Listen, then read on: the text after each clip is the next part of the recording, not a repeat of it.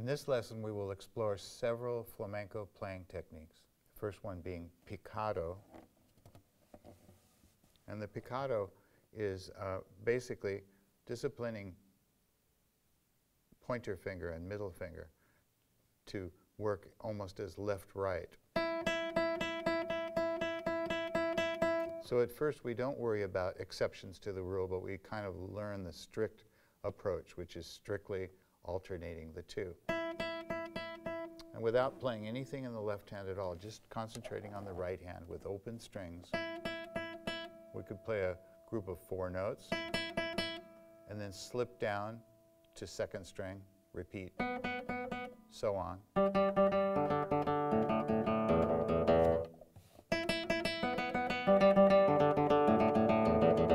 Obviously, having heard a lot of flamenco, you know that we're going to try to speed it up as much as we can.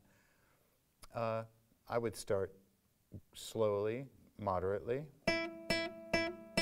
In this case, I've chosen to do what's called a rest stroke and to strike the first string and to snap the first string away and come to rest on the second string. So here I'm even bending the second string to show that my finger has relied on the second string to stop. And that's going to be used for about 90% of my picado playing. Sometimes it gets so fast we don't even have time for that. But let's start with the rest stroke. Here's the exercise.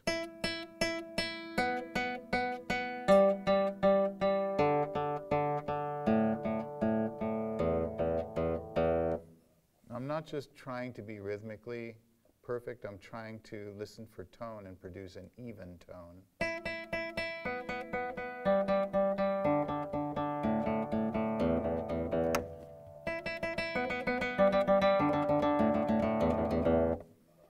Climb up from the lower string. Now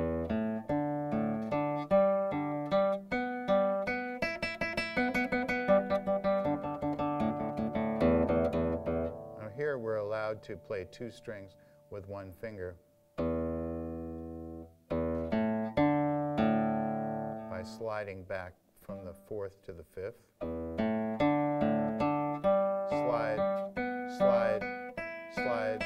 It's just a little bit more ergonomic.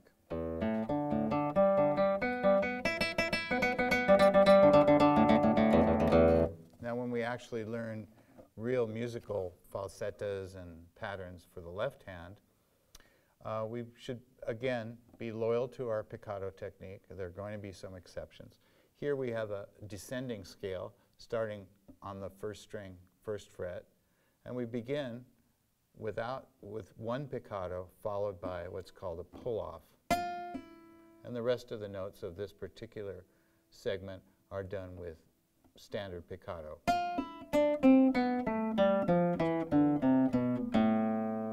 And it ends with the A open string. So again, you can hear that minor quality. When we learn something like that, of course the goal is Again, we're going to speed it up. In context it's going to be fairly fast, but we're going to learn it slowly, note by note. And you notice this one starts with a pinch.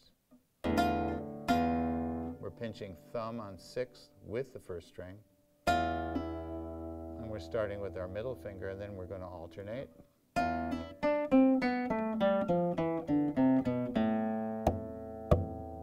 Put two golpes in and a rasgueado.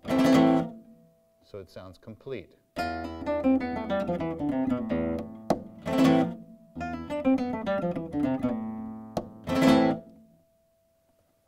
So when you learn picado, also be patient about it and learn, add one note at a time as you learn it.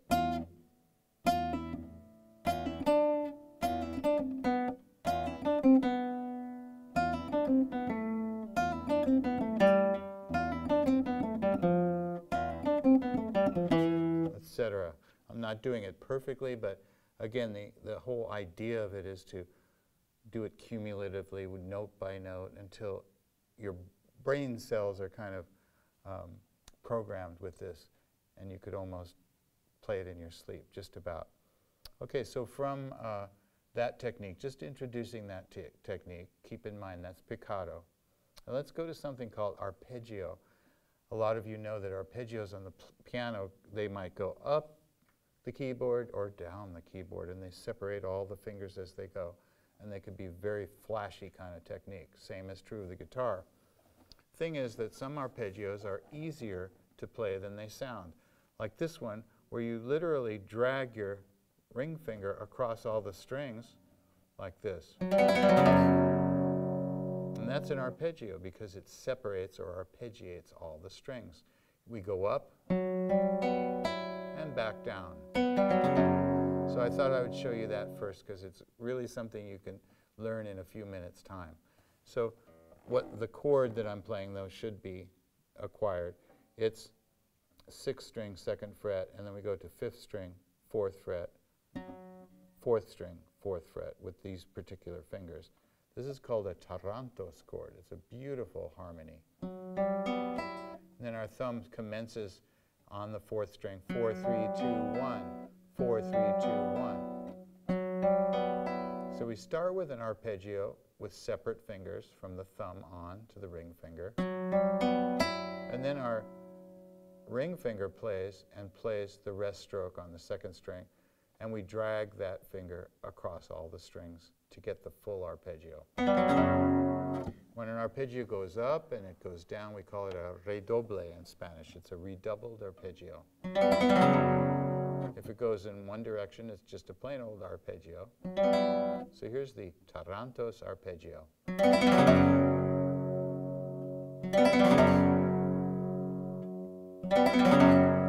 She's with another chord. Here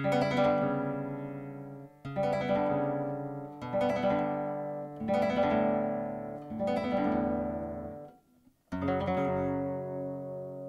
can omit the first string and make it a lower, which is a very beautiful effect of the low strings.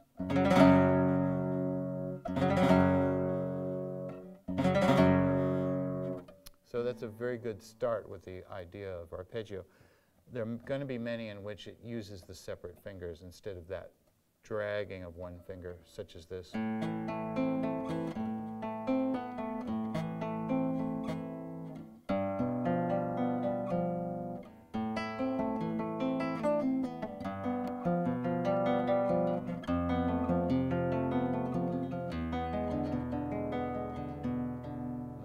Putting it mildly because we're starting at a very moderate tempo, and of course that will speed up as time goes on. There are some arpeggios that can be played with a pure thumb. It's a little bit advanced.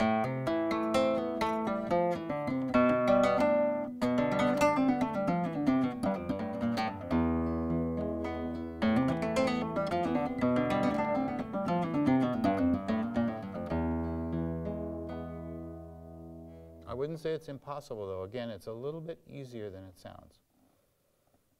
The next technique I want to show is called hammer and pull off, literally, with the left hand. You play a note, and then you hammer it to get the next note.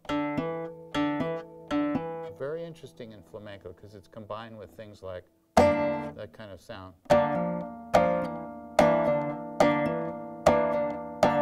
It's a very rough technique, kind of.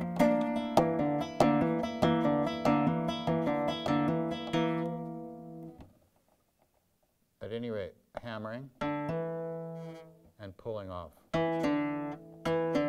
So we strike the note first and then pull our finger away from it and get the lower note. Here's some, uh, here's some pulling off and hammering.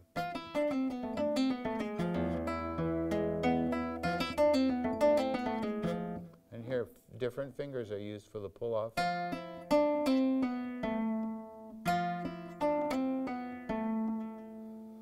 Combine all these effects in the left hand, we sometimes use the word legato because we're not striking it with the right hand. Our right hand is playing much less than our left hand. We call that legato.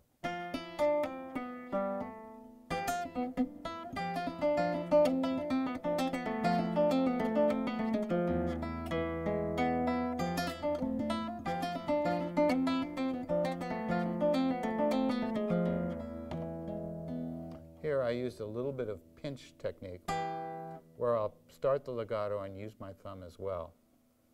Like that sound. Two notes simultaneously, but not in every one. I use it sparingly, so to speak. So that's kind of an introduction to pulling off and hammering. The next technique I want to talk about is rasgueado. We've talked about that before, but this would be an advanced approach to it. One thing we can do is, of course, we're launching our fingers from behind the thumb, but we can also use our left hand to choke off the sound. It's a very flamenco thing to achieve these silences as kind of a dramatic silence like this. And the sound just goes away and it disappears. So that's a kind of way you punctuate your accompaniment techniques.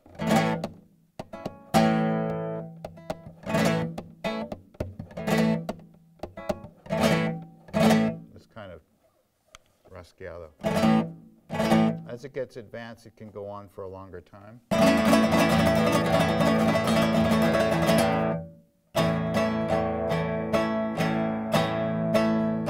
This is a three component kind of rasgueado, not using all the fingers separately. The hard part of this is going down with your thumb over all the strings. You're going up with your thumb, you're going down with fingers, and then following that with going down with your thumb is the third part of that whole pattern. You could start actually with the upstroke in the thumb, down in the fingers, down in the thumb, upstroke with thumb, speeding up slowly.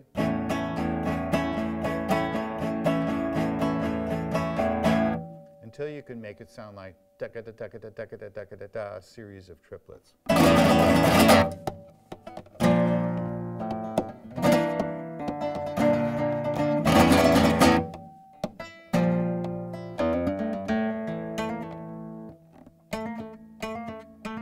Trying to keep that little hammer action going.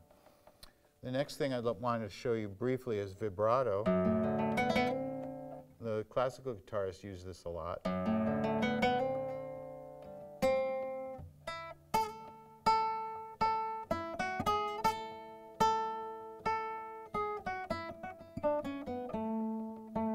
Just, it could be a little bit of a pull on the string, or it can just be like you're moving laterally from side to side, like a, the way you would erase something with a pencil.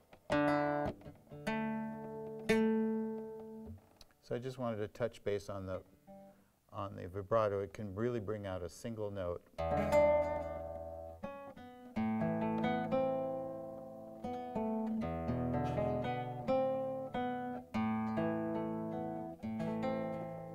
You can sometimes see the whole guitar shaking when you do vibrato. I want to mention um, hitting the strings. It's, for want of a better word, you're playing a chord like an A chord.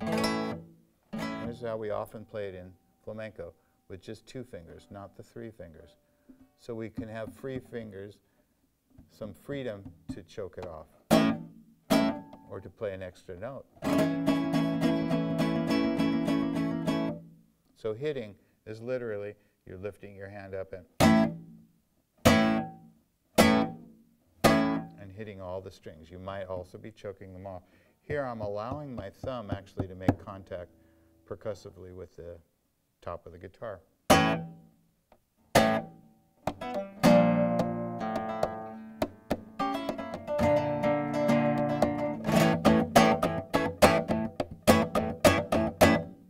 It's a very nice sound. That was groups of three in a Bulerías kind of pattern. Uh, the next thing that we run into a lot, especially in classical music, is tremolo.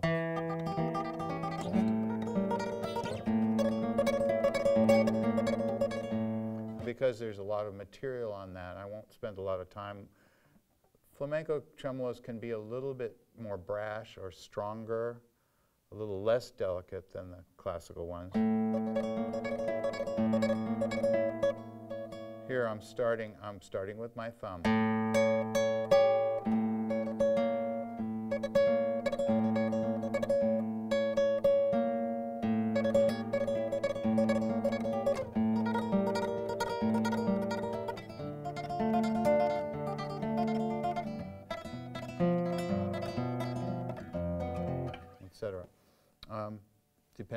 The piece needs to do. Sometimes the tremolo itself can be your melody. The last technique I want to show you is a little bit uh, unusual. Actually, it's the second, second to last technique I want to show you. I call it quasi-tremolo. It's a really nice technique where you're doing this pinching action with the ring finger and the thumb on a single chord, following it with middle finger up. These are coming up. Then you do down up to complete the pattern. Here's the whole pattern.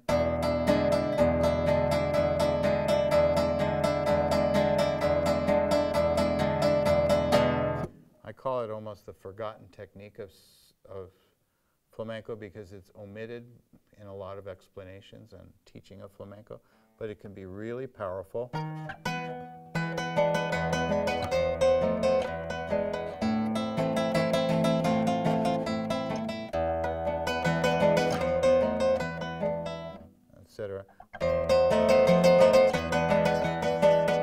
There's a piece called Farruca.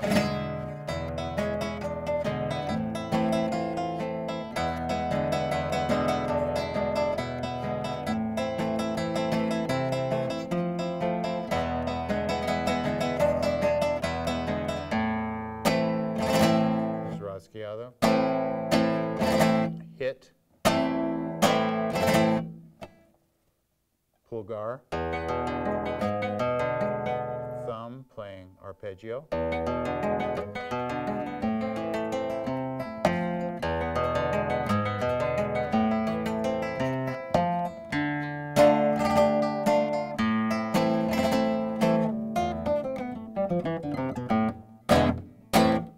bringing back the picado.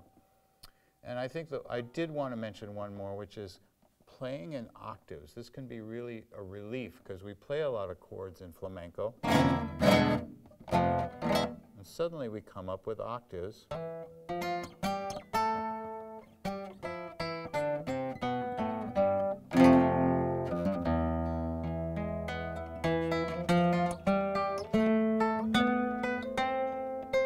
Here, the vibrato sounds beautiful in the octave.